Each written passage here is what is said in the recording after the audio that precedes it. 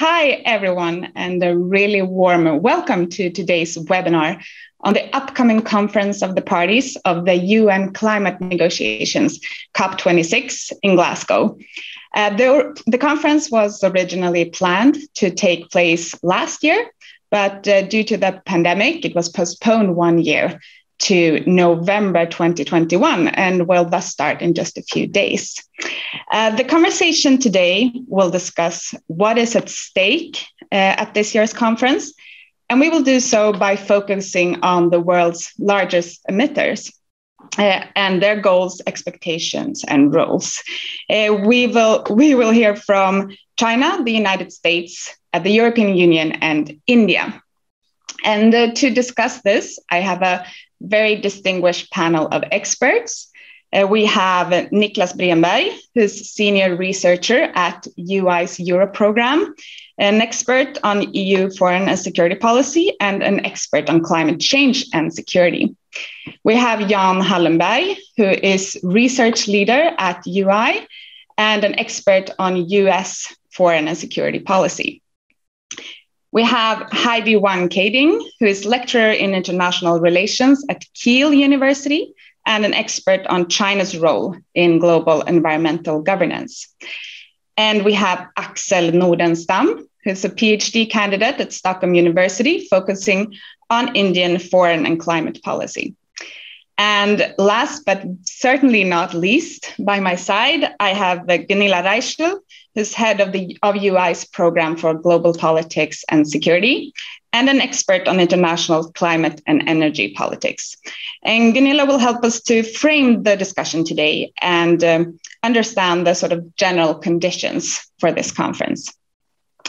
And the session today will run like this. I will digitally visit each and every one of our panelists to discuss the most pressing topics related to their countries or regions of expertise.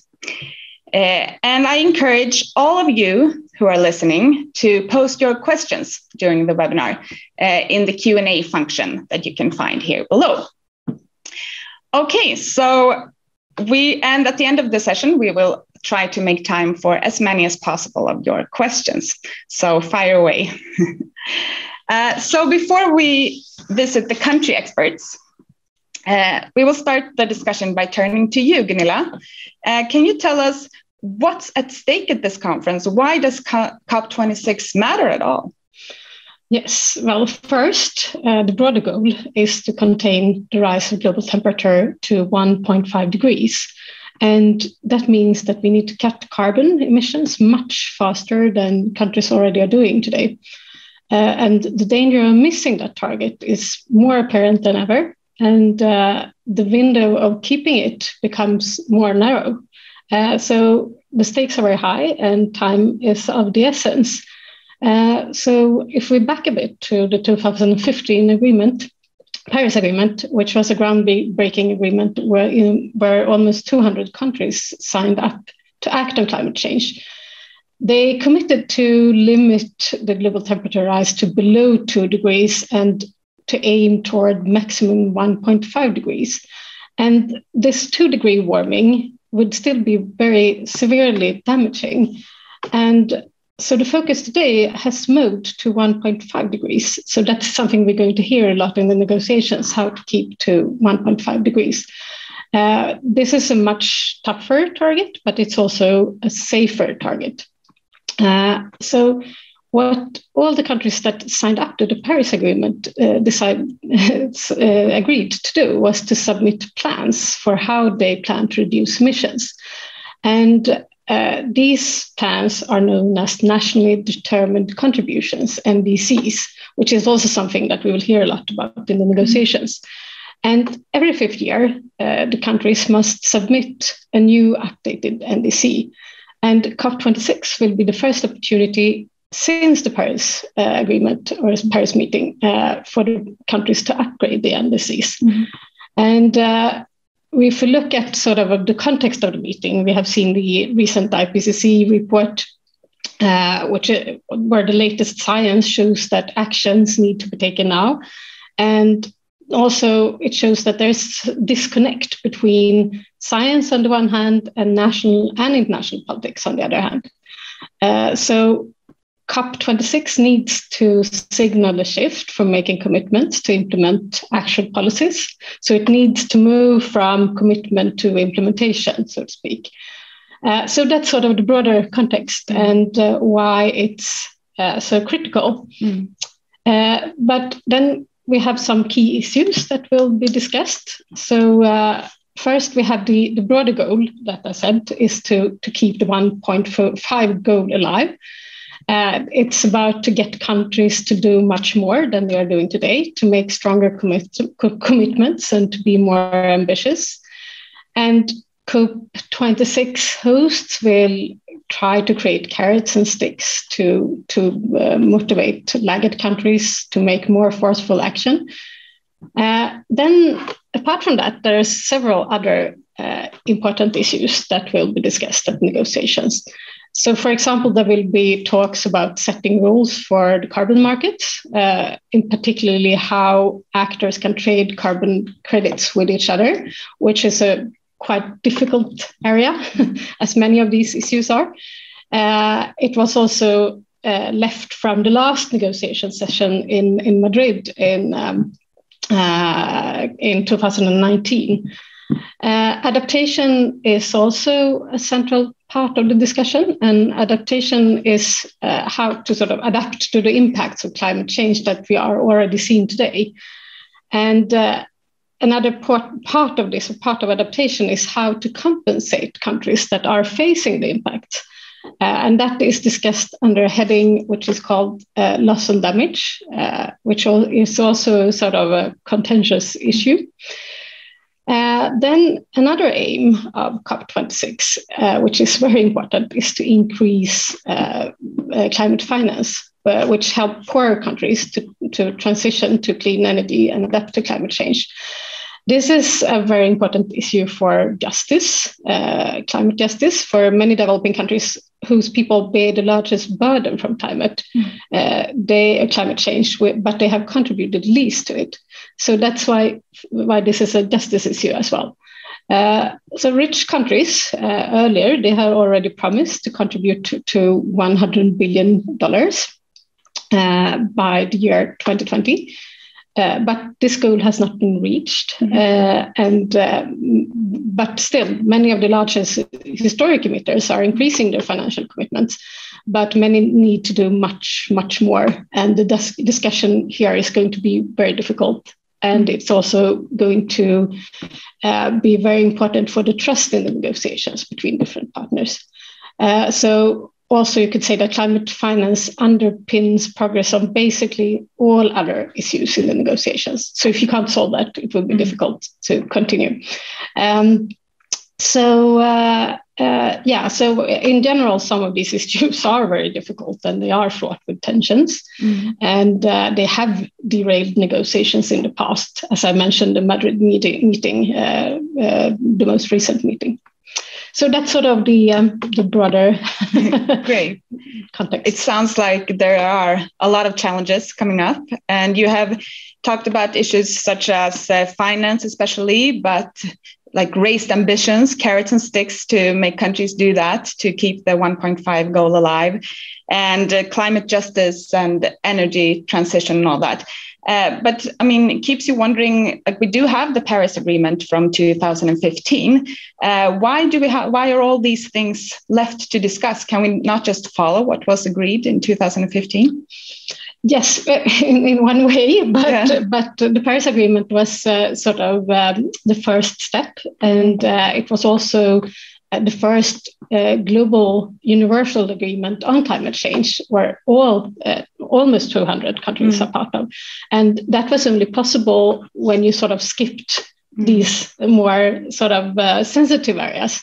So, so it's sort of built that you should raise ambition and and um, uh, create and work on the rules uh, year after year. So that's part of the process. Mm. Okay. And the conference starts on Sunday and will run for two weeks.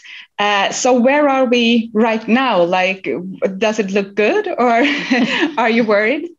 Well, it's a very difficult yeah. question when it comes to negotiations to sort of mm-hmm. that sort of you know success or failure uh, worries. But uh, we could say that the expectations on this meeting it's extremely high because mm-hmm. uh, climate change has become such an important topic and science as i said uh, is uh, sort of pointing that we need to take much stronger action mm-hmm. Uh, the problem is that this meeting will possibly not close the gap between countries commitments mm-hmm. and the reductions that are actually needed and the problem with that is that it's going to be a big disappointment for many. Mm. Uh, and this could be a challenge for the credibility of the political process. Uh, so I think it will be very important to show that the 1.5 target targets still alive, which is something the hosts are working for. So I don't think anyone believed that we will reach like mm. that that far, but uh, sort of they, they are working to keep that target alive and uh, to make this meeting a credible step on the road mm. towards sustainable uh, transition. Mm. Uh, so, so that's that's where we are right now. Okay. Um, and also, the meeting is very, as you said in the beginning, it's affected by the pandemic, mm. and uh, there is some risk of, uh, you know, trust issues, mm. particularly between the global south and global north, uh, which sort of which have because the the sort of vaccine inequality equity that we have seen has sort of reminded on how rich countries have failed to deliver on, mm. on uh, certain issues mm. uh, for developing countries. So this could contribute to a less mm. willingness to to sort of compromise. Mm. Um, so that's a bit of a problem, of course. Um, I would also like to mention that uh, this meeting take place against the backdrop of a global energy crisis, mm. and uh, that could sort of that ha- that has sort of offered a lot of fossil fuels advocates to like a new opportunity to sort of doubt doubts on the transition and the mm-hmm. costs on transition. So that's also something that this uh, could sort of be a bit shaky for the discussions. Yeah, how has it mattered? The how has the pandemic mattered? Do you think for the preparations going up to to COP26, uh, the pre-negotiations and all that. And I mean, does it also matter that it's two years rather than one year, which is the usual time gap since the last meeting? I think first we saw they had a lot of online uh, meetings, and um, as I understand it, it worked quite well, uh, but not to negotiate. Mm. It's very difficult to have a negotiated outcome from the online. So mm. that's why many demanded to have a physical meeting mm. uh, instead. It's also part of this sort of in, injustice because some countries do not have that access to internet. So it mm. also becomes a bit more um, difficult to do that. Mm. Uh, and also like this two years gap i think it also plays into the expectation on this mm. meeting and uh, sort of the, the feeling of uh, of the rush that mm. we have because we were supposed to do this last year and now mm. we're here and uh, so so that's yeah Great. Well, thank you so much, Gunilla, for those initial words, and we will come back to you at the end of the session. Uh, and now we will turn to and talk about the biggest actor uh, actors at this conference. Uh, and we will start to talk to you, Niklas, who is an expert on the European Union. Uh, can you give us a picture of what's the role of the European Union in the climate negotiations and what expectations are there at the EU? Yes, hi. Thank, thanks for inviting me and giving this, uh, giving me an opportunity to to address you and uh, on this very timely and of course important important topic. Uh, I think um, kind of jumping direct to your question, Elin, uh, on the role of the EU in, in, climate negotiation, I think it's you could start by saying that the kind of the EU is keen to portray a self-image of, of itself as a kind of leader. It talks about itself as an, an that it has a leadership approach and it has leadership ambitions mm-hmm. going into uh, climate negotiations. And of course, historically, the EU has taken uh, a, kind of a, um, a, a, big role in shaping uh, many of the kind of international uh, agreements that we have seen uh, on issues revolving around climate climate change and, and environmental politics on a global and international level. Now, I think um, uh, those of us who are focusing on these issues and also uh, thinking about the EU in this context, we kind of uh, all think about what happened a couple of years ago in, in Copenhagen when the kind of the EU uh, was seen to uh, its its approach um, did not deliver, so to speak. That there was a change in the um, in the landscape, in the kind of international landscape on climate change negotiations. We at that time we were uh, leaving uh, the Kyoto Protocol, and I think a lot of uh, still in the EU and, and, many others thought that it, that could be replaced. Uh, it did not happen, and, and I think uh, the kind of the image of the EU as a leader was a bit tarnished after after Copenhagen. But I think it's also important then to stress that the EU has I think, learned lessons from, from that experience. And I think that also paved the way for the Paris Agreement, where the, the EU is now much more uh, focusing on kind of building broader alliances and really trying to shape this agenda from, from the uh, bottom up. And that also translates into the EU having a much broader um, set of instruments, tools in its foreign policy, but also kind of a broader external action that tries to address um, climate change from, from a number of, of, of perspectives and trying to so, somehow shape uh, the um, the political landscape around these around these issues. I think Paris Agreement maybe was an, an, an outcome of, of that, or at least that the EU contributed to to it. And the EU is, of course, deeply invested in uh, making uh, the Paris the Paris Agreement work, so to speak. So that is, is obviously a, a big part of, of, how the EU sees its, itself. Mm. And what do you think? Uh, what are the primary goals for the EU? Like when they go into the conference now, what do you think the European Union wants? What outcomes do they hope for? I think on on kind of um, on, on, the highest level, or so to speak, in, in general, they're really they're very keen on making the Paris Agreement work, right? So kind of uh, saving it or, or making it work, making the logic of what what Gunilla was was talking about before, kind of continuously raising ambition uh, in in those in these negotiations, and, and and really having the signatories to the Paris Agreement really come forward with ambition uh, ambitious plans, mm. and also to the extent that it's possible help uh, developing countries really kind of implement and make take effective actions on, on climate change uh, in, in, their own countries. So I think that is is something that, that the kind of the EU uh, comes comes in with or its, its, approach. But we've also seen, I mean, the when it comes to the negotiating mandate, uh, we saw earlier in, in this month, uh, the EU Council decided or decided that you know they should come to these negotiations trying to get uh, the parties to be more ambitious and, and kind of speeding up um, the um, uh, the uh, kind of uh, the year or the, the, time in which the, the NDCs are going to be um, uh, renegotiated or, or, revised. However, we also saw um, that there is an emerging maybe uh, disagreement also within EU countries on this particular issue. Gunilla raised the point on, on rising energy prices, and maybe that has also somehow affected the um, the momentum within the EU in, in, in trying to kind of um, you know put up a very strong position towards towards uh, the meeting in, in, in, in Glasgow. But I think that is, is is one issue, kind of trying to raise the ambitions on, on the NDCs. Um, Gunilla also mentioned um, carbon markets. That's also something that, that, the EU is also very keen on advancing uh, within the Paris Agreement framework. And also, of course, raising ambition when it comes to international climate finance. And that's also something that very kind of very to a large extent aligns with the um, external actions tools that the EU already has in itself, in its tool, uh, uh, by itself, in its toolbox in order to address this issue. So so you, you, kind of you see that the EU is very much in line with the logic and the setup of the Paris Agreement, and is very invested in in trying to make it work uh, as, as, as best as possible. Right.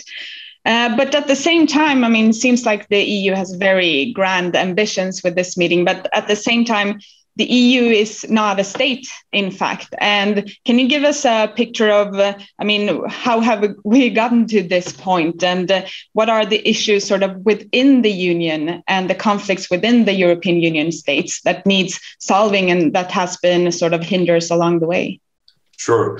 Um, yeah, I think that's a great question, right? So, what, what kind of an actor is is is the EU? Um, it's not a state, obviously, but that is not necessarily, I think, a doesn't have to be a bad thing, right? I mean, you can compare to the US, obviously, a, a, very strong actor where they can shift quickly, right? Its position on these issues. We saw it from the previous uh, Trump administration. Now we're back with, with Biden, so to speak. The EU, and particularly the Commission, has uh, kind of a much more long-term uh, vision when it comes to these issues. It kind of sticks to the agenda once the agenda is put in place. I think that is one of the key issues to really uh, focus on now. So how is the, the kind of the big commitment that the EU has made through the European Green Deal. How is that translated into legislation? We saw the EU climate law being passed earlier this year. We see the kind of the Fit for 55 package where the EU has committed that it should reduce its carbon emission by 55% um, compared to the 1990s baseline. All these things obviously are, are, are you know, what we are focusing on. How can the EU put these ambitions and, and really kind of work towards what they have put in now as their you know binding targets of climate neutrality for, for 2050 mm-hmm. and then uh, you know re- reducing emissions uh, by 55% uh, towards 2030 all that is i think uh, is you know in in in in in, in, in, in the limelight what would be uh, are focusing on and i think the uh, maybe the the problem here, or what we are looking what we are looking to with with, with maybe uh, increased um, worries a bit, is obviously the impact of rising geopolitical tensions around issues of climate change, um, growing political conflicts within the union uh, between member states on this issue, um, and and I think that might be something that can kind of uh, uh, maybe dilute some of the momentum in the EU, but. Com- but you know, as you know, since you want to talk to, to more experts, right? But as a kind of a, a, a, concluding remark, I think the EU is still one of the most ambition, ambitious actors here, and it has done a lot. And I think, again, the, the approach that the EU has, where it tries to align a lot of its uh, foreign policy instruments, its, its, its financial power, and also the kind of the ongoing work and trying to make all this ambitious kind of um, goals turn into legislations and, and, and policies is uh, an, an, approach that the EU is very keen on and, and, and, probably can deliver on, but we'll, we'll see how much. Mm, great. Yeah, we have uh, several other people to talk to, but we still have a few few minutes uh, on your time, and I would like to just like pick up on a few things you were saying. Um, for example, you were talking about one of the strategies that the EU have is to uh, to build broader alliances on this question. Can do you have an example of other sort of states or regions or actors that the EU is particularly planning to cooperate with or are already doing? I think the the EU is. I mean, there is um, uh, countries, like-minded countries, right, in the uh, developed uh, world that the EU is, is, and has a long history of, of, of cooperation with. Uh, I mean, obviously now we see uh, the UK leaving the union, but the UK is very much aligned with with I think the EU its approach and its its its goals when it comes to uh, uh, climate, the kind of the broader international climate agenda. And there are other countries um, uh, that are on the same page. But when it comes to kind of building this broader alliances, I'm more also thinking about the, the EU's focus on, for instance, African countries and developing countries. Where I think they, at least in in, in the logic of, of, of the EU, it makes sense to try to kind of, you know, build the, the whole climate change or transformation agenda into uh, the agenda of, of, of uh, you know, um, pushing for sustainable development. So I think that's something that we've seen uh, being increasingly uh, put into practice in, in, in, in, in the EU, kind of building this broader alliances with, particularly with the developing countries. Mm. And I guess that, I mean, uh, the EU, if, if, we kind of go back to what we said in, in the beginning about the EU and its leadership ambition, I think really that is uh, something that it, it, it, it's um, emphasizing when you talk to uh, representatives of, of, the EU and the Commission and, and, and, and, the Council is that the EU wants to lead by example. It really mm-hmm. wants to kind of show, and I think that's something that the EU also will come into uh, the, the Glasgow meeting in, in kind of making partners know uh, and aware of all the things that the, is going on in the EU and, and trying to shape this, this, this agenda and, and and making or having that as um, a means to put pressure on some and a source for inspiration for others. And I think that is is something that the EU is very keen on on, on trying to do. Mm. Well, great. Well, thank you. Just a final quick thing. What what will you keep an eye out for during the meeting from your perspective? I'm I'm I'm very interested in in uh, negotiations in, in in how what kind of outcome we can see when it comes to carbon markets, since mm-hmm. that's that's really something that, that could you know the EU is again trying to align climate goals with its broader uh, foreign policy, also international trade policies, right? So in theory, that is where the EU could have a, a huge leverage, right? So if we could have a, um, a, some meaningful international global rules on, on, on carbon markets, I think uh, you could see a lot more, at least in theory, more leverage from, from the EU and how it can use its, you know, access to the European market uh, and, and its kind of broader trade agendas. I think that's it's going to be it's going to be super complicated, as Gunilla already said. Um, and but that's something that I'll definitely keep an eye on. Great, thank you so much, Niklas. And uh, we might come back to you during the Q and A. And we will move on now to our expert on the United States, Jan Hallenberg. Welcome to the conversation. Thank you.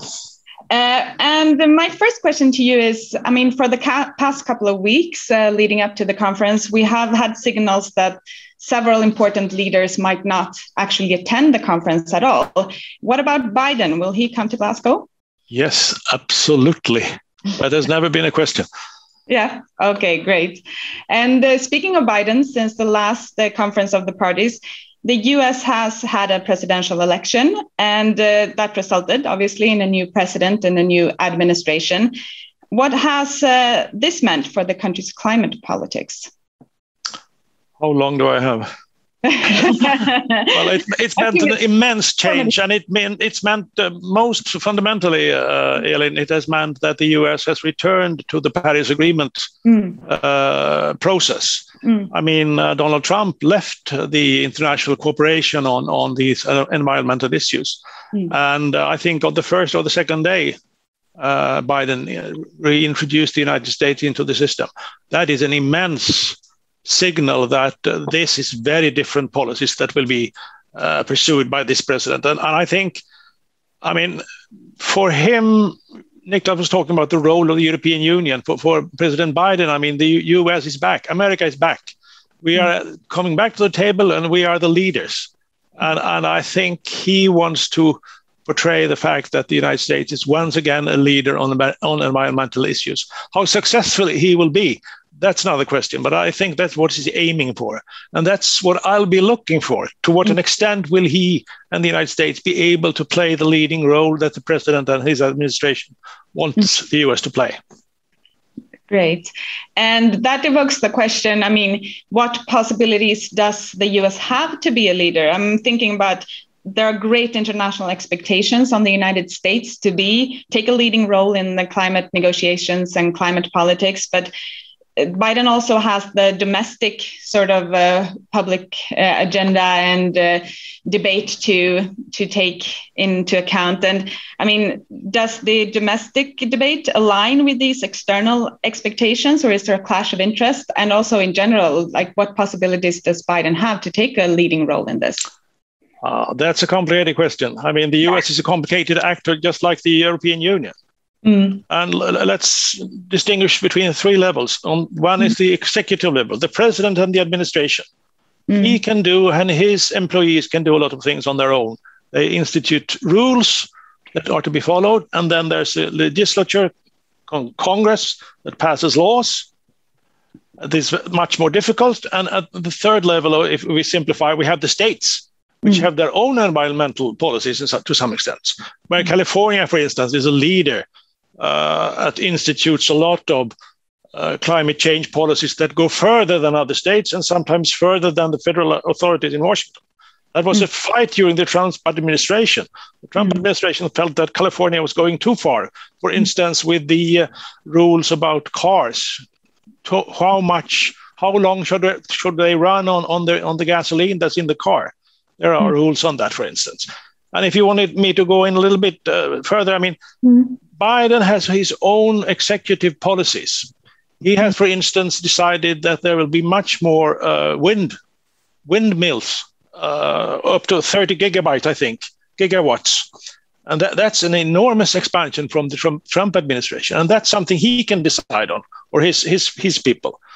Uh, and uh, he has also he's added 26 new environmental policies as of mid-October. So smaller issues, but together they make a, a big change from, from previous policies. For instance, when, when uh, the United States looks at environmental reviews, looks at what happens when a law is passed, to what an extent should climate change be addressed in those reviews. Trump administration said there should be a minimal role. It doesn't matter. But Biden says very clearly it's very important environmental reviews of laws that are passed. To what an extent does this impact climate change and how? So these things are, are important. And there's a lot of those. And to those of you that are interested, the Washington Post follows these issues, each of these issues uh, regularly. What, is the United States doing? What is President Biden doing? And what does it mean? Mm. And then we have the big package they are negotiating now in Congress on a very large package for 10 years of expenditure, which will likely consist of about $500 billion for environmental issues.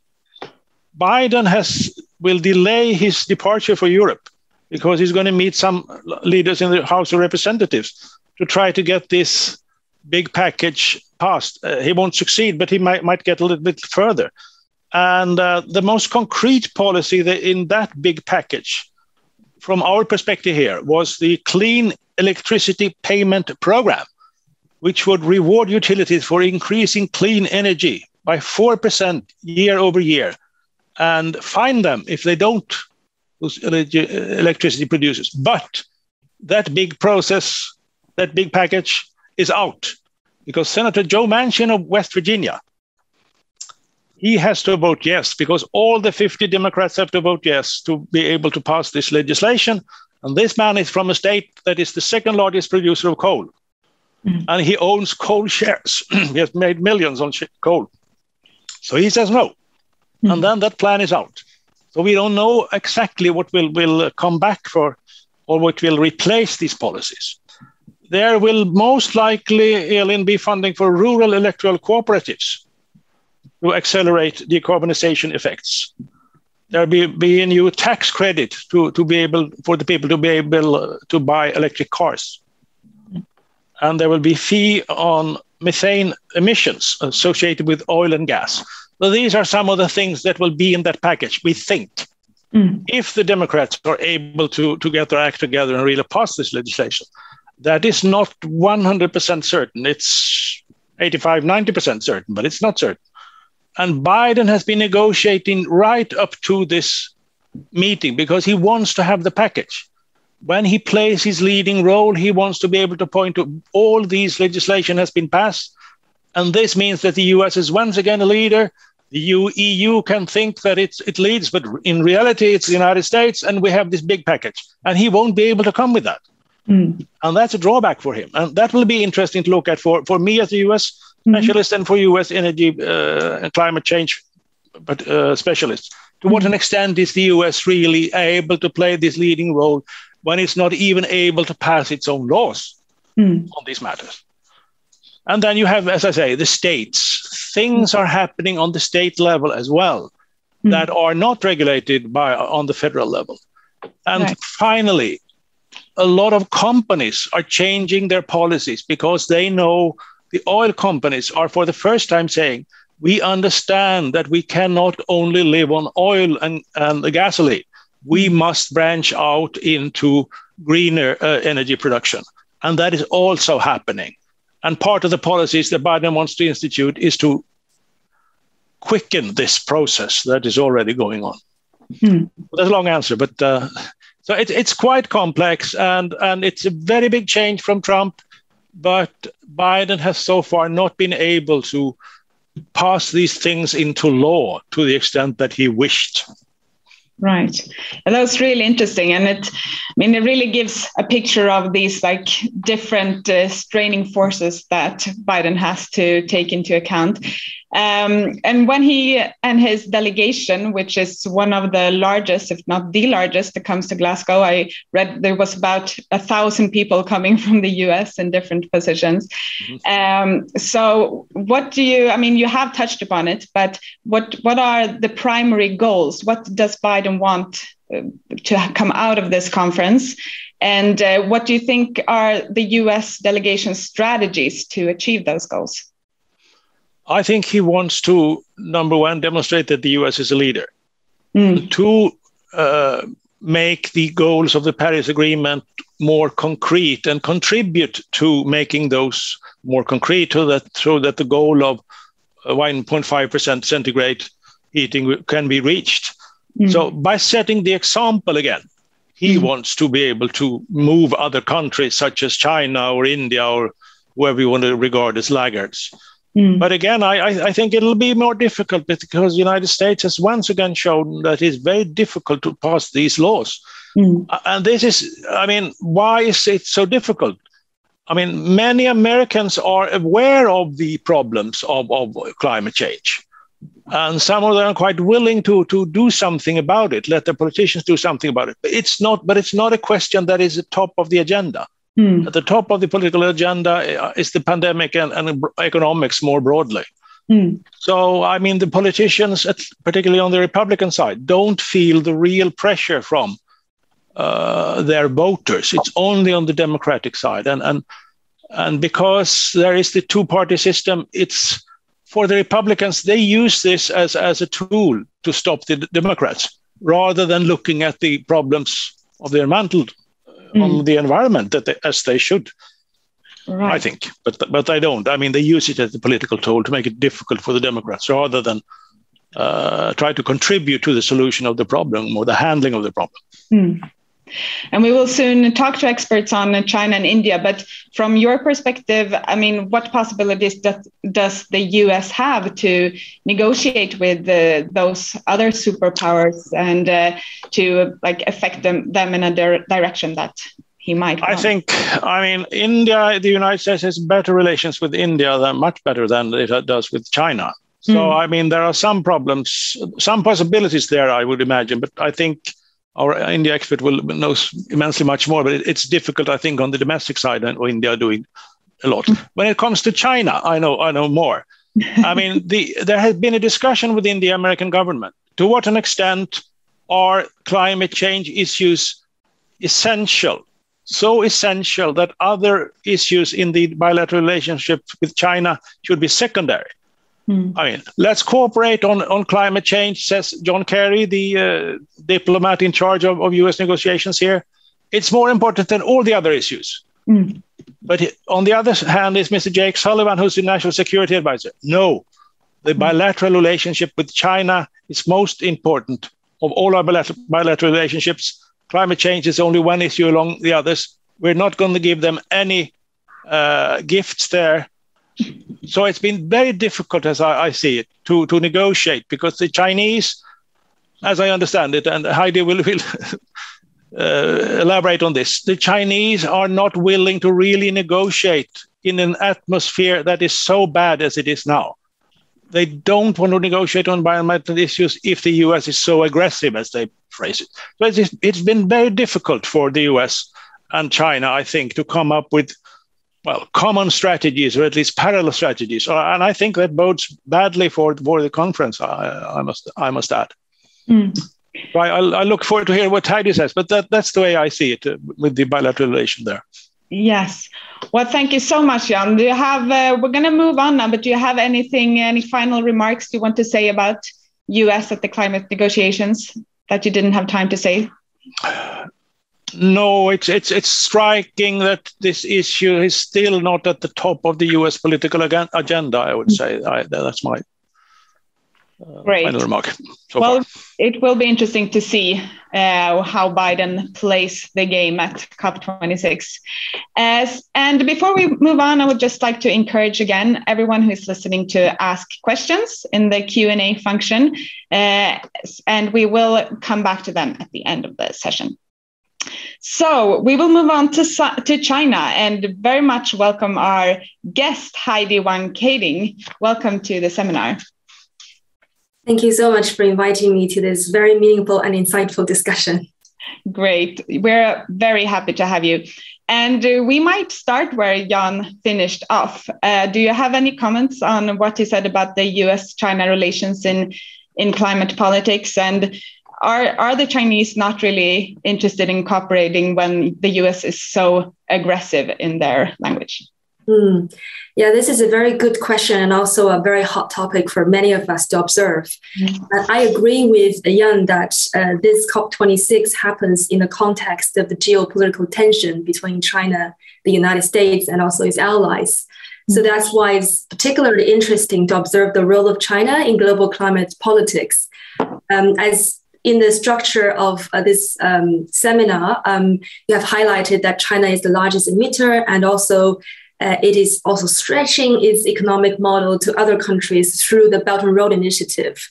And so by 2018, countries involved in the Belt and Road Initiative already cover or produce 55% of carbon dioxide CO2 emissions globally. So uh, what happens in the Belt and Road Initiative is also very interesting to, uh, to observe. So in, in a very um, short note, uh, the China is very important because also the, the sheer, size of its population and also its um, CO2 emissions. So China's problem is also the world's problem due to the connectivity of climate crisis um, on the global stage. Mm. Yeah. yeah, and I think the whole world is uh, sort of watching the what China will do in climate politics since they're such an, an important and crucial key actor. Um, and uh, I mean, s- several of the countries and regional pers- perspectives we have lift forth here today are both actors with high ambitions, but also really high emissions. Mm-hmm. Uh, and uh, as for China, I mean, how can we understand these sort of really from their perspective really high ambitions together with the really high emissions. Like how do these two go together? Yeah that's an excellent question. And this also links to the uh, domestic sources and international pressure of china's climate commitments. Mm. um, so as you have mentioned china is very ambitious to also pro- project itself as mm. a global leader in the global climate um, um, negotiation and also cooperation um, so that's why we have seen uh, Xi Jinping uh, made very high profile uh, climate pledges uh, last year and also this year. So the main takeaway from uh, his climate pledges is that China will peak in the carbon. So the yeah, it will peak in the carbon production in 2030, and then it aims to achieve carbon neutrality by 2060. Mm. So that to many, yeah, it the reception of those climate um, pledges differ uh, depending on where you are. Um, so many Western observers uh, regard this as uh, not as ambitious because it's relatively easy for China to achieve the peak, a 2030 peak. Okay. Um, so that's why they they uh, speculate maybe China. So Xi Jinping Chinese leaders wants to underestimate and then over deliver, and through that they can demonstrate or uh, reinforce their leadership position. Um, however, if we look at domestic reaction to those pledges, it actually surprised many um, domestic stakeholders um, because of the radical change uh, and also its um, um, a big statement towards the energy sector. So how to um, make sure that by 2060, the fossil fuel uh, will only contribute less than 20% of the energy mix in China. So it's not something uh, to be taken for granted, um, so to speak. Um, so that's why uh, it's also important to observe, um, as you have highlighted in, in the question, what actors are actually involved mm. in determining the country's climate policies. Mm. at the moment, we can observe very top level design of climate policy and climate pledges in China. So um, in the uh, so as Jan has mentioned, the U.S. has very complicated but clearly delineated um, um, uh, separation of power in their government. And in China, um, it's, it's, less the case, but still very complicated because it's, it's fragmented. And um, even for climate issues, we are involving a lot of ministries to come up uh, with a climate policy which both matches the international expectation and also reflects the domestic um, situation, uh, what is realistic to achieve. So um, the, the leading the most top level uh, organization is called uh, so a small leaders group and that is chaired by uh, china's vice premier and he has also experience in uh, coordinating climate uh, policy in china um, uh, and also this um, small leading group involves a lot of ministries like ministry of environment ecology national development and reform commission and also Ministry of Finance and Technology. So that means um, it is uh, climate change is very top on the agenda of Chinese leaders, and that is very clear. And, and that's also very maybe different from the situation in the US, where when you change a leader, um, the position on climate change or the commit, uh, commitment could also shift. Mm. Um, so, and um, the two leading ministries in climate policies are um, the National uh, um, Reform uh, Development and Reform Commission, and it has long tradition of uh, developing climate policies because it also uh, it is also in charge of the macroeconomics policy and also energy policies. So it makes a lot of sense to link climate policy to the bigger macroeconomic um, strategy, uh, national strategy. And um, in 2018, there is a cabinet reshuffle, which is intended to streamline climate policies and environmental policies. So that's why that uh, task has been shifted to the newly founded Ministry of Ecology and Environment.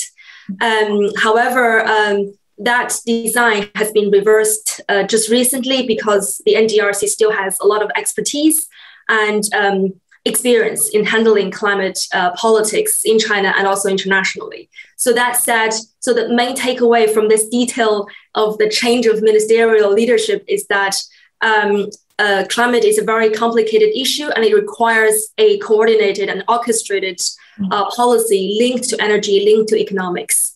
Um, and of course, we're also um, looking at various interest groups um, so to make sure that they enforce environmental laws, there are pl- plenty of environmental legislation in China. The, the main problem in China is enforcement and uh, implementation. So that's why we need to look at the implementation side of the climate politics as well. Mm. Sorry for the long answer. No, but that's really interesting and so great to get that like extensive picture of it. And if we focus more specifically then on COP26, what what can we expect from China at COP26? And will Xi Jinping turn up at all? Yeah, that's why we don't know. That's uh, where the surprise is. Um, so I was checking uh, this morning whether it would come because uh, yesterday, uh, the BBC reported that it is unlikely for Xi Jinping to come to Glasgow to attend in, in person. And so, so that has um, made a very interesting point about um, how to expect, what to expect from China at COP26. Mm. Um, so at the moment, it's still very much puzzled with uncertainties. Apart from the um, climate pledges uh, Xi has unilaterally made in the United Nations. Um, there is no a clearer uh, alignment um, between those pledges and the 1.5 degree uh, goal and whether to make it even more ambitious. Um, and there is indeed a statement uh, or promise from uh, Xi Jinping regarding the Belt and Road Initiative. So this mm-hmm. is a way for him to address uh, in a different language about China, uh, how China could demonstrate its leadership in climate mitigation. So uh, it promises um, that it will not, Belt and Road Initiative will not fund fossil fuel uh, coal-fired power plants uh, along these projects. And that could make a big difference. So the climate action tracker actually estimated the pledge alone could lower global warming projection by 0.2 to 0.3 degrees. So this is a very um, important signal from Xi Jinping and also reinforces its high level commitments mm. um, of China in, uh, in um, climate uh, mitigation uh, efforts.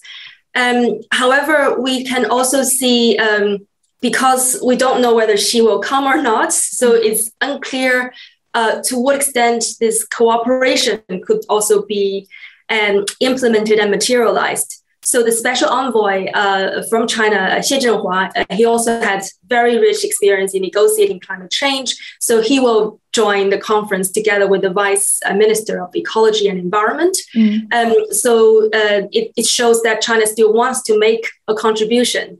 Um, however, if we compare maybe China's behavior this year from previous efforts, we can see a more evident um, desire and um, efforts to stake its leadership. Mm. So um, maybe not led by practice, but led by impressing people, impressing uh, all countries around the world that China is trying to make a big achievements and trying to to lead the way and also to show that it is consistent in terms of keeping its climate promises uh, on a global stage.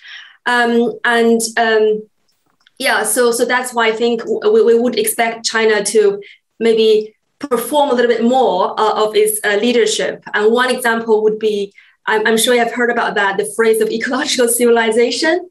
Um, so that's that's also the main theme of um, the biodiversity COP uh, in Kunming in China. So China is also hosting another important COP conference uh, domestically, and that's the theme: ecological civilization and also the shared human future uh, is the theme and ambition of China in terms of how to project itself and how to portray its leadership and its relationship with um, yeah mm-hmm. our, our, shared future.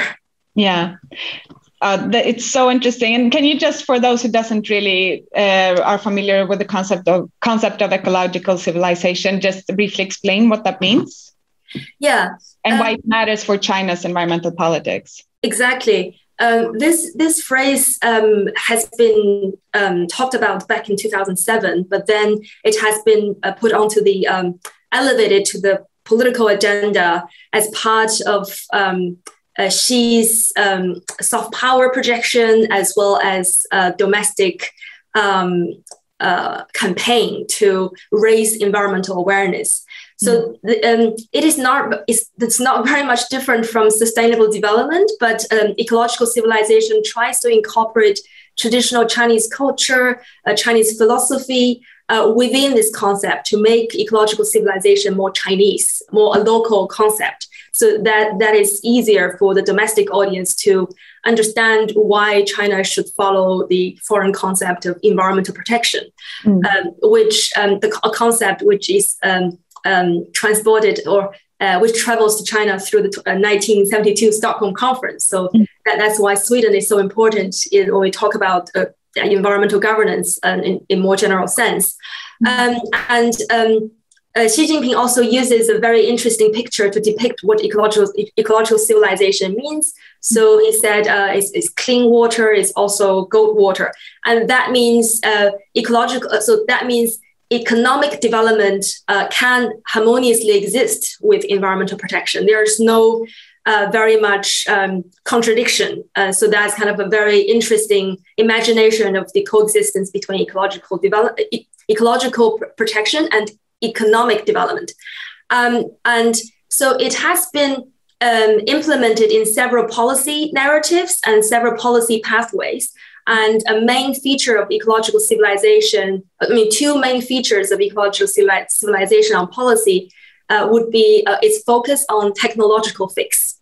So the, the ministries of uh, science and technology has invested a lot of research funding into clean energy, for instance, clean technologies, um, to make sure that ecological problem can be addressed by technological solutions.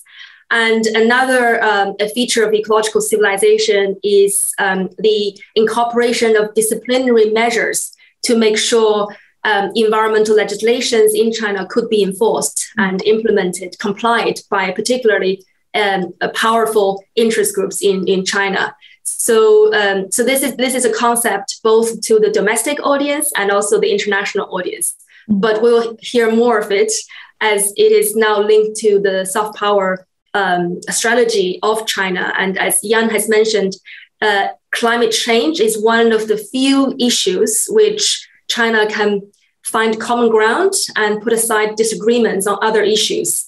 Mm. Um, and it has been used um, previously uh, after 1989 um, uh, to uh, re so Chinese government has used climate uh, uh, environmental issues to reconnect itself to the global stage. So we may see that uh, we may see that climate change is actually increased and more important than some of us have imagined to the Chinese leadership. Thank you. And just briefly to finish off our part here, uh, what will you personally keep an eye out for during the conference? Mm, I think I will look at non-state actors. I will look at how various lobbying groups in China would um, give pressure to uh, the, the chief negotiators and the language of the uh, chief negotiator. Or there, there must be ambiguity, and that's kind of the, the uh, the uncertainties of uh, multilateral cooperation, but I, I, would also observe domestically how is how it is perceived and to what extent is the high level co- commitment uh, being able to be materialized uh, domestically. So that's where I'm going to observe.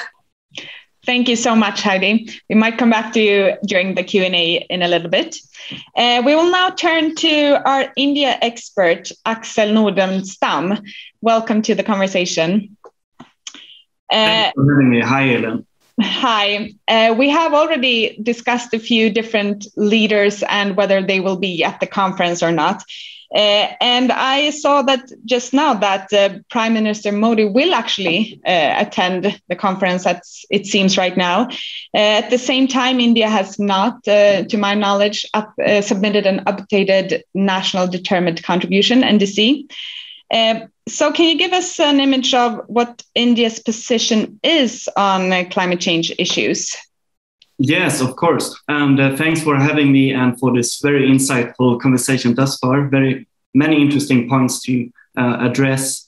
Um, so, yes, Modi is about to to Europe, um, first for the G20 summit in Italy and then for Glasgow. Um, very recently, and this is in, and this is important, the Indian climate minister um, also the leader of the Indian delegation to Glasgow, expressed that India has huge expectations on the summit um, and once I quote, a summit that is marked by um, action and implementation, end of quote. So, action and implementation seems to be the starting point as India enters the negotiations. Um, regarding positions, um, principles such as climate justice, equity, the common but differentiated responsibilities will remain important to India um, in Glasgow, but also afterwards. Uh, and this is very much linked to that uh, India was part was one of the driving forces of the responsibility of the formulation of the principle of common but differentiated responsibilities in the 80s. So it has a special role in the Indian thinking about climate change and responsibilities, um, as we alluded to. Um, so this implies that India stresses that industrialized countries, ultimately the ones that uh, cause the global climate crisis, have a special responsibility. And that responsibility uh, concerns climate action for the entire world. Um, so in Glasgow and also uh, in other areas, we will see an Indian push to increase climate finance, with India urging rich countries to set up a mechanism, uh, specifically in Glasgow. Uh, so for those listening in that are also going to Glasgow, uh, do note that climate compensation is considered to be one of the Indian priorities in Glasgow. Uh, at the same time, India wants to be part of the solution uh, and wants to be uh, seen as a responsible stakeholder in the negotiations. So India therefore pushes for a renew for a very ambitious renewable energy agenda at home, um, which implies a target of 450 gigawatt um, installed capacity of, of renewable energy by 2030. So mm-hmm. just as China is investing in renewable energy, India is as well, and has invested a lot of uh, political capital into that target. Um, and actually, one thing that is worth remembering is that India's climate diplomacy is broader than the negotiations. Um, under Modi, we have seen that India's leadership uh, ambitions have increased, and we now see an India that wants to shape the global uh, conversation about climate change. Uh, let me give you three examples here the International Solar Alliance, the uh, Coalition for Disaster Resilient Infrastructure, and the Leadership Group for Industry Transition. Um, Sweden is, by the way, part of two of these initiatives. Um, and what I take from uh, reading Indian press prior to, to COP is that we can also expect two new initiatives being launched in the weeks ahead. Um, the first one, an, an issue based coalition uh, called the Infrastructure for Resilient Island States, which basically would serve as a platform for climate finance for uh, smaller states, which India is expected to launch with Australia and the UK. Um, and secondly, the UK and India are also expected to push for green grids in Glasgow um, through a green grid initiative, the One Sun, One World, One Grid so we can convene after COP as well and see uh, how this turned out. But uh, naturally, a lot of focus right now is on the negotiations. Uh, but it's worth remembering that India sees the global climate debate in a broader view here. And uh, mm. well, great. Yeah, we, it will certainly be really interesting to see in a couple of weeks where we landed with all this. Um, you were talking about the major energy transition that India needs to make and has already plans to do. Uh, can you tell us something more on how that is going? And I mean, does India have expectations on uh, like external actors uh, to help with this ener energy transition? Definitely. Um, and uh, I think, look, it's it's not only a question of like expectations, but also a question of hope and a question of how India partners with the world and how the partnership about energy transition is being uh, played out. Uh, a, quite a monumental task awaits India that we must bear in mind here, namely the transition and the modernization of its society towards a towards a somewhat more uh, developed uh, society and a uh, so the modernization process that China has undergone, it's currently happening in India. Mm-hmm. So this will have massive uh, implications for how India views the energy transition.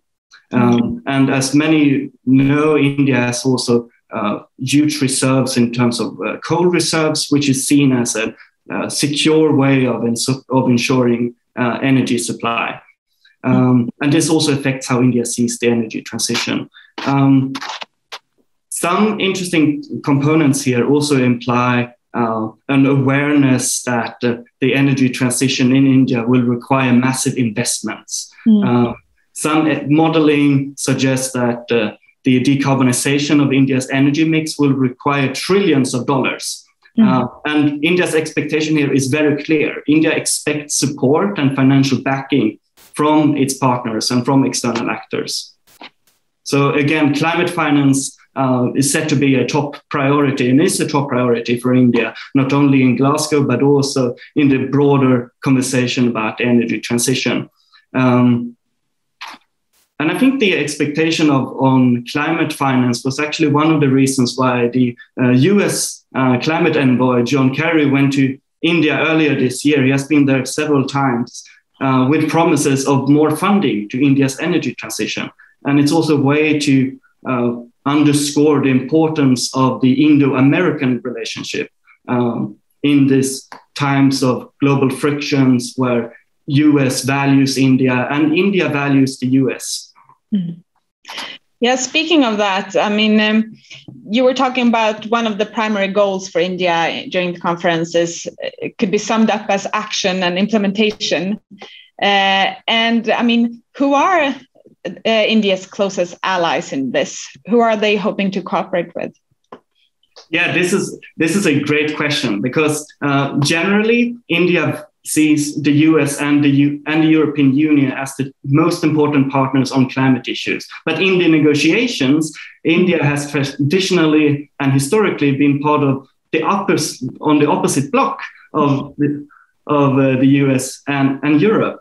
Um, so we'll see some friction here uh, in the negotiations. There will be demanding conversations, um, especially when it comes to the net zero uh, debate. Um, since I mean, an expectation from the Indian side on when it comes to the energy transition um, is that uh, um, is that countries around the world should not get one single year for as a set target. uh, but rather uh, see, but rather have a somewhat more flexible approach uh, in terms of goal formulation. Uh, so, so my expectation and uh, what I would uh, look at here is, of course, whether partners, the US and the European Union, will show a willingness to give that flexibility in the negotiations for when formulating policy on net zero. Mm. Yeah. And you were also talking about uh, these different, at least five initiatives that uh, that India is part of or um, has even initiated. And one that I know something about is India and Sweden and the uh, partnership on the industrial transition. And it was a lot of big words about that a few years ago, uh, as there are in many of these sort of initiatives.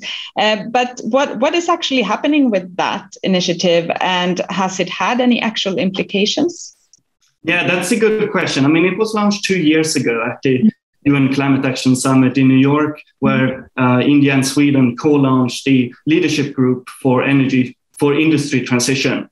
Mm-hmm. Um, and this and this is also part of a global, of a broader trend in the Indo Swedish relationship, I would say, where climate change and climate action has become a top priority in recent years. Mm. Um, it's a bit early, to be frank, to say uh, if, to evaluate and assess its uh, impact. Um, primarily because of the because the sectors that are uh, concerned by it, sectors and steel primarily, are currently undergoing tremendous uh, transitions. So green steel is certainly part of, of the conversation, but it has nevertheless been significant for the Indo-Swedish relationship, I would say, um, since it offers a, a platform um, and a uh, and brings some momentum to the Indo-Swedish relationship. And one should also remember, I mean, uh, yes, it was launched two years two years ago, but we have seen indeed seen countries and companies that work together in this initiative to ensure uh, that heavy industries reach net zero by 2050. Uh, mm. So there have been some activities, um, but we'll have to return in three decades and see whether that was one of the reasons why we uh, might have reached uh, net zero in 2050 or not. Um, mm. yeah. Uh, so just to to finish off, Axel, uh, what will you keep an eye out for during the conference and the next two weeks plus a bit to come? Yeah, I mean, of, of course, there will be some frictions that I will keep an eye on, but I think most of my attention will be on uh, new initiatives, uh, on, on new issue based coalitions, um, whether the European Union and India cooperates more on the International Solar Alliance, which is like the flagship project for, for Modi and is a way for India to project soft power in the world. Um, I will also keep an eye on whether um, how the conversations are going on green technology, specifically about with regard to the idea of a new global green hydrogen alliance, which is still being debated. Uh, so we don't have it on paper yet.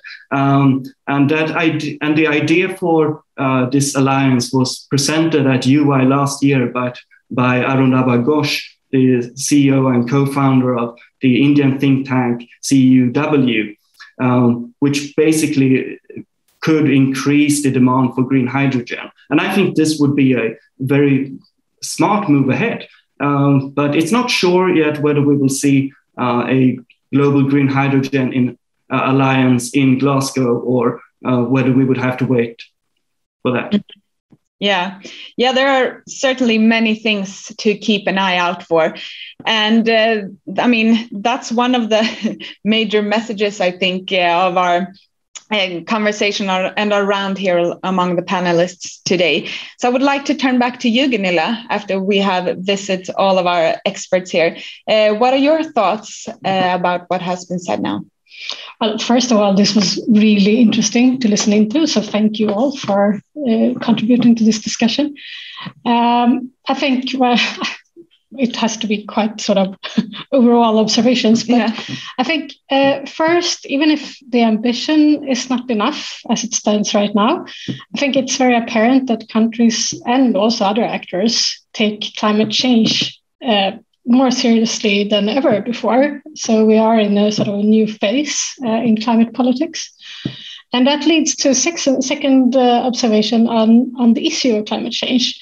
And I mean, it has been said before, but the Paris Agreement it was a symbol. It symbolized the shift in in climate politics, where instead of understanding climate as a single issue or a single environmental issue that were to be solved by, by intergovernmental negotiations or by states, we see it as a much broader process. And several of you have been talking about this, and it complicates things. Uh, it complicates how we view leadership, for instance. It's much more difficult to be a leader uh, in a broader process that climate is. Uh, you have all touched on geopolitics, trade, uh, uh, development aid, investments. So it's all about transitions. And all the states that we have discussed here today are, I mean, they are hugely important for the negotiations, for the future of climate change, for raising ambition. Uh, but still, we also have a lot of other actors that uh, are participating in in climate politics, and so so the question or the issue has become much much broader. Uh, so I think that sort of reflects the discussion mm. here. Mm. Yeah, yeah, it's been really really interesting to listen to all of you. Uh, and I would also like to remind everyone who's listening to keep posting questions. We have gotten a few, but we have room for more. So don't be shy. Just post your questions in the Q&A function. Uh, and before we go to the audience questions, I would like to just turn briefly to Jan. Uh, you, if you want to comment on what's been said about specifically uh, China and India and their relations to the US, uh, since that was after your uh, conversation. Yeah, I note that uh, Axel said that there are possibilities for, for cooperation between India and the US, and I think we, one could see this in a broader context. I mean, the, there's an organization called the Quad, mm. in which the US and India uh, cooperate with Australia and Japan, and and there's a broader alignment going on in Asia where the US aligns with different countries in in in uh, its contest with China. Mm. So I think there's a link between these issues. And uh, then the link between these issues also makes it more difficult again to cooperate with China because for the United States, there's an immense focus now in its foreign policy on the confrontation with China. And, and that makes it uh, makes me a little bit more pessimistic about the possibilities for cooperation, at least between these two two giants in, in, in the conference. And and uh, so I, I, think my my, my uh, worries on this point have been um, confirmed, but uh, perhaps Heidi can address it once again. I, I, it's interesting to also to note that Heidi said that China wants also to play a leading role. So we have a competition here among all four actors. Everybody wants to play an, uh, an important role, and, uh, and that's going to be very mm-hmm. interesting to see how that plays out. Whether that makes it more difficult to come to concrete solutions, or, or whether it contributes to it. Mm. Yeah, certainly. That would be really interesting if we have this race in ambitions. Um, I mean, race in, as in a competition, or if it will be all about money, or if it will actually sort of hinder the process going forward. So that would be really interesting to look out for. Uh, we have had a question about the environmental collaboration between China and India, uh, which we haven't really touched upon. Uh, and I wonder, Heidi, would you like to say something about that? Um, yeah, thank you so much. I'm not an expert in the um, relationship between China and India, so I'll just offer my humble opinion and then um, transfer. Uh, I think he knows more than I do in this regard. Uh, of course, there is a lot of um, uh, there are a lot of opportunities for China and India to cooperate in um, climate policy and also in biodiversity um, conservation.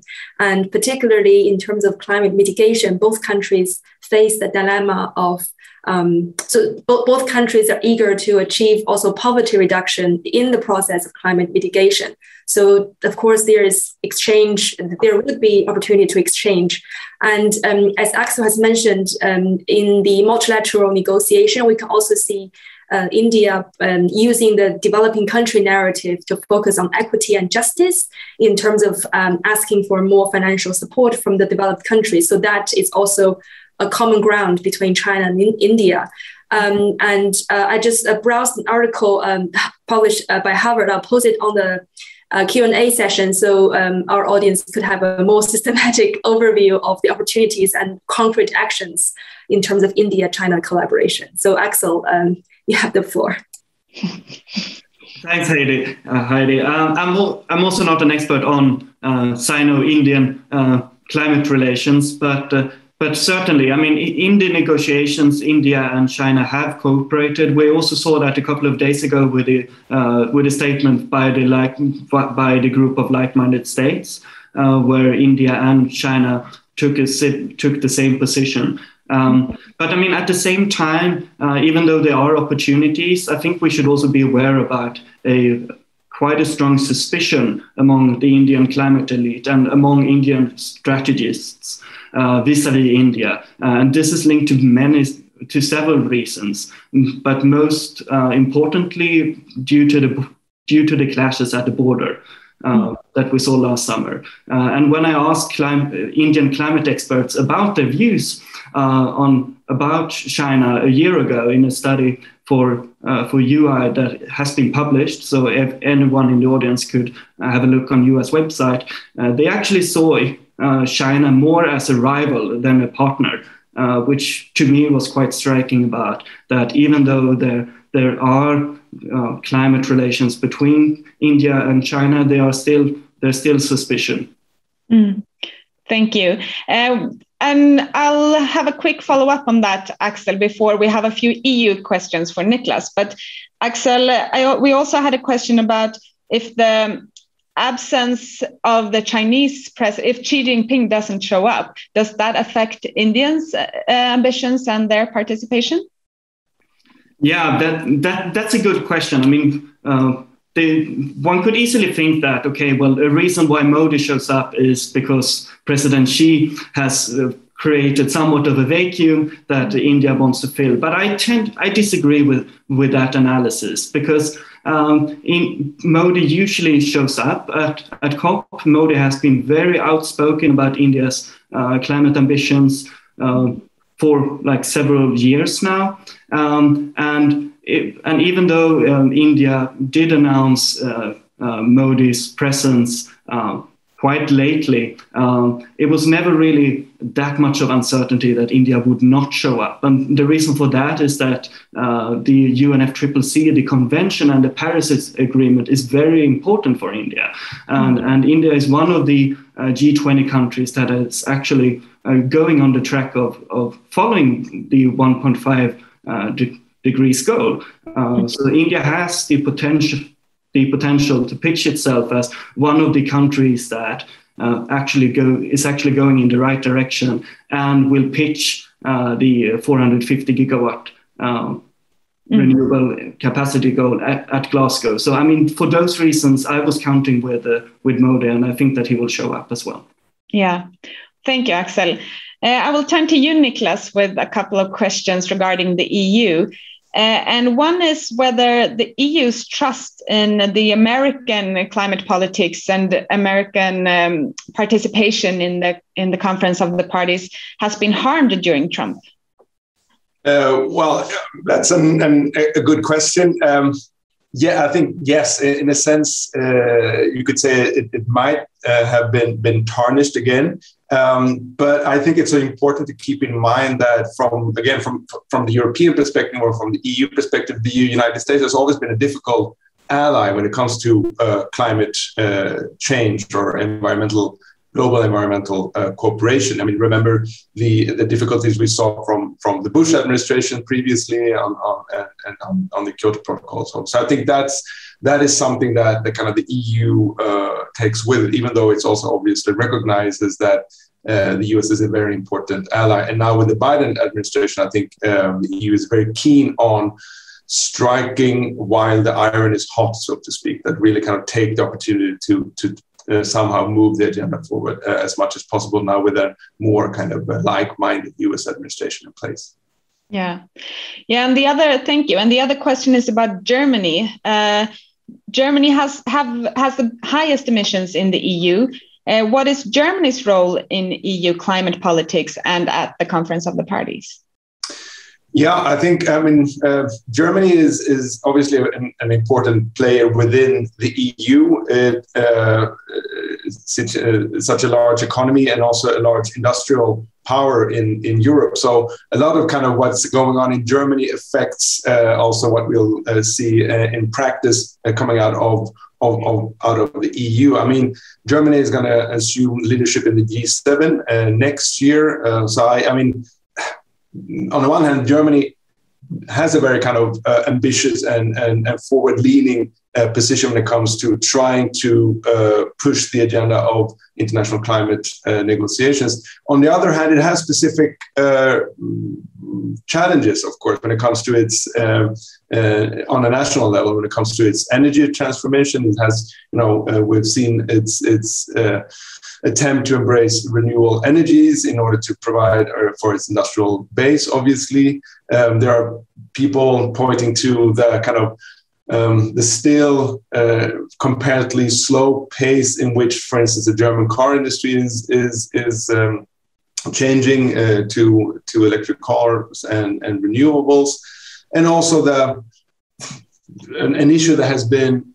discussed at length for a while now is obviously uh, how Germany uh, really has an interest in having the economic relations with China, uh, you know, running smooth in a sense, and that also affects maybe a little bit how it's, um, you know, uh, how it's going to land on issues when it comes to such things like carbon uh, adjustment uh, tax or, or, something like that. So I think Germany is definitely an, an a player, an important player, um, but it's it's at the same time complicated. It's, it's, it's such a big player that has some some of these kind of complex issues uh, involved. That there are similarities with the many other big countries here. That it's and this also relates to what Gunilla said that kind of the, the, the climate agenda is not is now so broad. It has to be since it's such an important topic, but it also becoming increasingly complex, mm-hmm. also at national levels, to kind of have a um, ambition and, and straightforward position, so to speak. Yeah, certainly. Yeah. And speaking of Gunilla, we have a couple of questions for her too. Uh, one is regarding the ongoing energy crisis and how is the ongoing uh, crisis affecting the negotiations? And can it, in some cases, even improve cooperation on these issues? Mm, that's a very interesting question. Uh, I mean, it's a quite recent development, and the negotiations are, I mean, they are separated from that. Mm. So it will, uh, it's not going to have like a direct effect mm. on the talks. Uh, but as I said in the beginning, uh, it sort of opened up um, for a new form of not climate denialism, but uh, climate skepticism.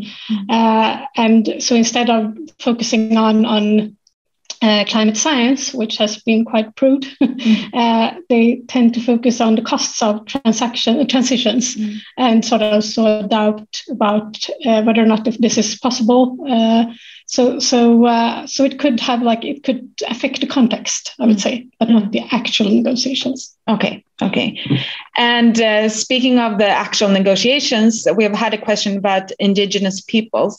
And indigenous peoples are the, one of the, or a few of the groups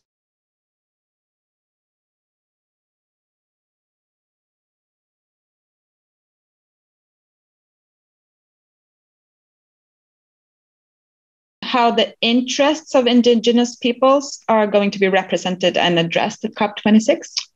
Uh, unfortunately, I cannot answer that question. Mm. Uh, but I mean, looking at previous meetings, because I don't know how it will play out mm. during this COP meeting mm. due to the pandemic, but uh, in, in previous meetings, you have had this uh, multi stakeholder dialogue uh, and trying to sort of catch different uh, stakeholders.